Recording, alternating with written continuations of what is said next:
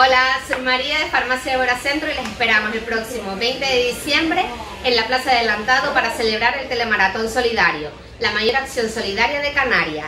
Ayúdanos con productos para bebés y niños hasta 6, años, alimentos no perecederos, productos de higiene y aseo personal y juguetes nuevos.